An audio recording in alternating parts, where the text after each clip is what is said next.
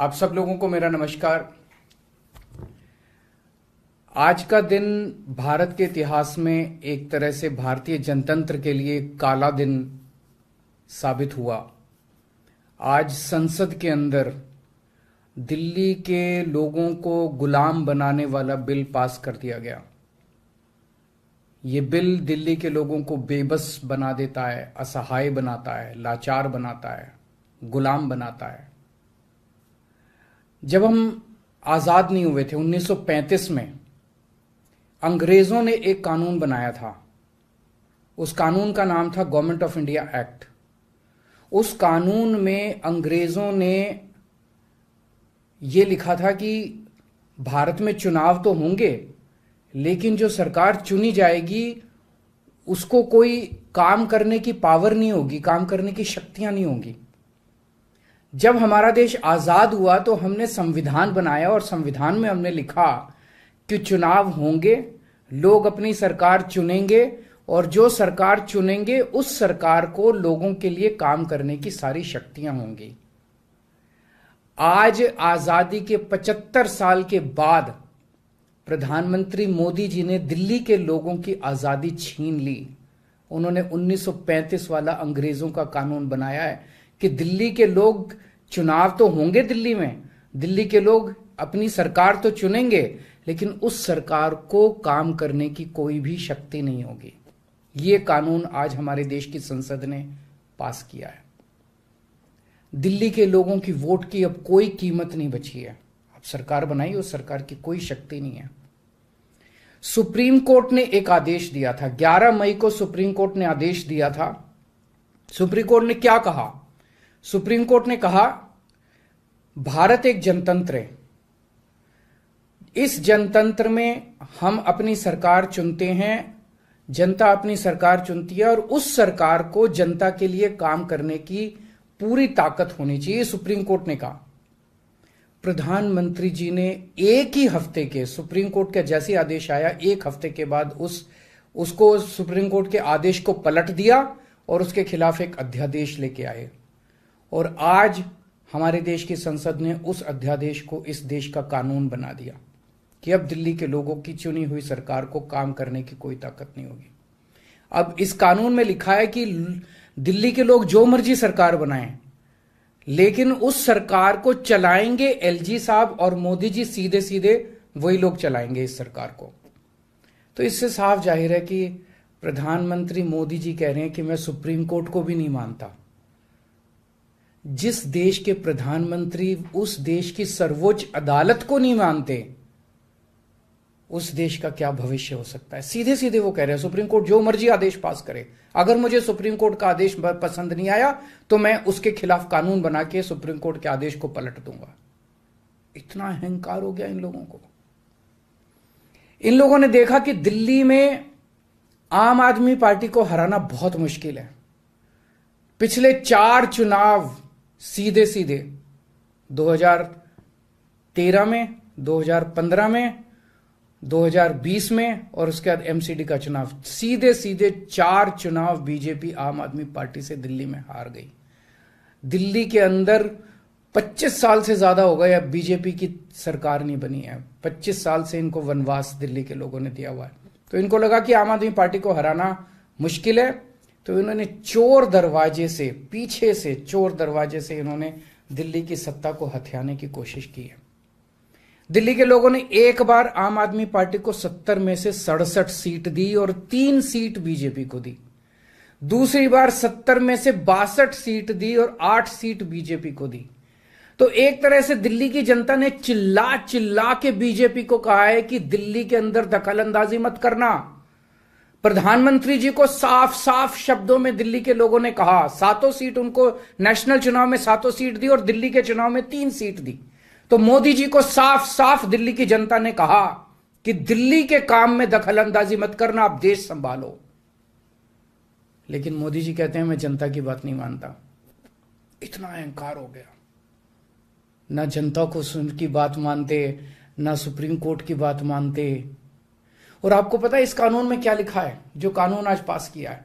इस कानून में लिखा है कि दिल्ली के ऊपर से नीचे A category B category C category D category, जितने दिल्ली सरकार के कर्मचारी हैं, उन सारे कर्मचारियों को के बारे में सारी पॉलिसी केंद्र सरकार बनाएगी। उनकी ट्रांसफ़र पॉलिसी, कौन अधिकारी, कौन चपरासी क्या काम करेगा, ये देश के प्रधानमंत्री बैठ के दिल्ली के, दिल्ली सरकार का कौन सा चपरासी क्या काम करेगा, कौन सा चपरासी फ़ाइल उठाएगा, कौन सा चपरासी चाय पिलाएगा, कौन सा चपरासी खाना।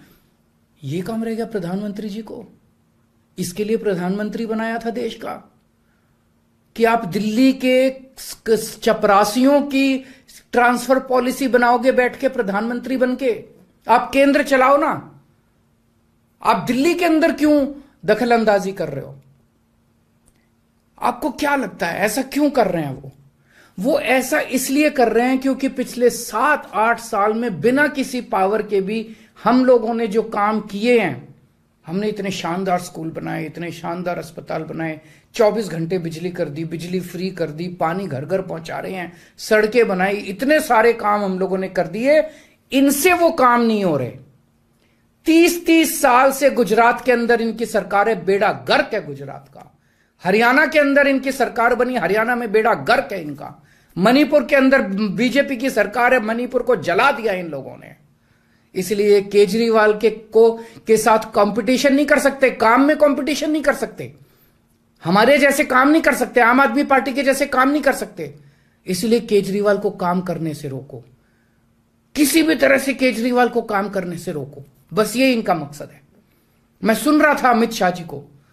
वहाँ पे संसद में भाषण दे रहे थे। कहते हैं झगड़ते बहुत हैं ये लोग। झगड़ते बहुत हैं ये लोग। मैं स्कूल बनाता हूँ।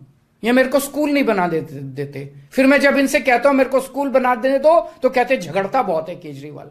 मैं मोहल्ला क्लिनिक बनाता हूँ मेरे मोहल्ला क्लिनिक तोड़वा दिए इन लोगों ने। फिर कहते हैं केजरीवाल झगड़ता बहुत है मैं इनको कहता हूँ मेरे को मोहल्ला क्लिनिक बनाने दो। मैं अस्पताल में दवाइयाँ फ्री करता हूँ कहते हैं दवाइयाँ फ्री क्यों करता है? मैं बिजली फ्री करता हूँ, कहते हैं केजरीवाल फ्री भी दे रहा है फ्री की रेवड़ियाँ दे रहा है, कहते हैं झगड़ते बहुत हैं। मैं जो भी करता हूँ, चाहे झगड़ता हूँ, चाहे जो भी करता हूँ, दिल्ली के लोगों को पसंद हूँ।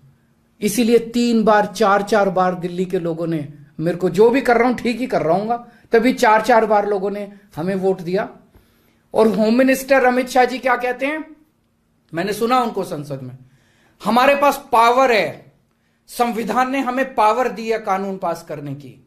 हमारे पास पावर है।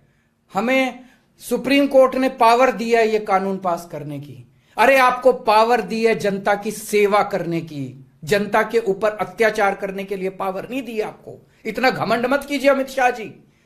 आपको पावर दी गई है ताकि आप विकास करें देश का। आपको पावर दी गई है ताकि आप देश के लोगों को शक्तिशाली बनाएँ। आपको पावर इसलिए नहीं दी गई है कि आप देश के लोगों को लाचार बना दें और उनके वोट का अधिकार छीन लें। ये जो आप पावर पावर पावर पावर कर रहे हो, ये पावर आपको जनता की सेवा करने के लिए दी गई है। मैंने देखा है अमित शाह जी पिछले चुनाव में, आप घर घर घर घर जाके दिल्ली के अंदर पर्चे बांट रहे थे। एक एक घर में जाके आप पर्चे बांट रहे थे। दिल्ली के लोगों ने आपको नकार दिया। अब आप दिल्ली के लोगों को तमाचा मारने आ गए। केजरीवाल से नफरत करते करते इस नफरत में इतने अंधे हो गए कि आपने दिल्ली के लोगों के ऊपर अत्याचार करना चालू कर दिया। और मैं प्रधानमंत्री जी को याद दिलाना चाहता हूँ। 2014 के चुनाव में प्रधानमंत्री जी, आप खुद आए थे दिल्ली, आपका भाषण उठा के देखिए। आपने दिल्ली की जनता को प्रॉमिस किया था कि मेरे को प्रधानमंत्री बना दो, मैं दिल्ली को पूर्ण राज्य बनाऊँगा। उसके पहले, हर चुनाव के पहले भारतीय जनता पार्टी ने आंदोलन किए हैं दिल्ली के अंदर, दिल्ली को पूर्ण राज्य बनाने के लिए। और आज आप लोगों ने दिल्ली के लोगों की पीठ में छुरा घोंप दिया। अपनी वादे से मुकर गए। अगर आप आप ऐसे करोगे, फिर प्रधानमंत्री पे कौन यकीन करेगा? आपने खुद बोला था 2014 में कि मैं फुल स्टेटहुड बनाऊँगा। फिर कौन जनता आपके ऊपर यकीन करेगी? 2015 में आपने मेरी शक्तियाँ छीनी। दिल्ली सरकार की, जैसी हमारी सरकार बनी, आपने हमारी शक्तियाँ छीन ली नोटिफिकेशन जारी करके। फिर भी बिना शक्तियों के हमने काम किया और दिल्ली की जनता ने मेरे को 2020 में बासठ सीट दे के दिल्ली की जनता ने आम आदमी पार्टी की सरकार बनाई। क्यों?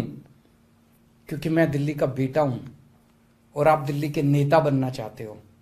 दिल्ली के लोगों को अपना बेटा पसंद है और दिल्ली के लोगों को आप जैसे नेता नहीं चाहिए। हम दिल्ली वाले दिल्ली से बहुत प्यार करते हैं। और हम जानते हैं कि बीजेपी दिल्ली के लोगों से नफरत करती है, दिल्ली वालों से नफरत करती है। इस बार दिल्ली के लोग बीजेपी को एक भी सीट नहीं देंगे लोकसभा में, एक भी सीट नहीं देंगे। इस पूरे संघर्ष के अंदर बहुत सारी पार्टियों ने, बहुत सारे नेताओं ने दिल्ली के लोगों का साथ दिया।